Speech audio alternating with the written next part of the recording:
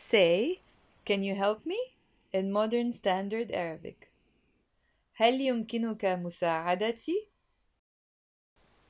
هل يمكنك مساعدتي؟ If I'm talking to a man. هل يمكنك مساعدتي؟ هل يمكنك مساعدتي؟ If I'm talking to a woman.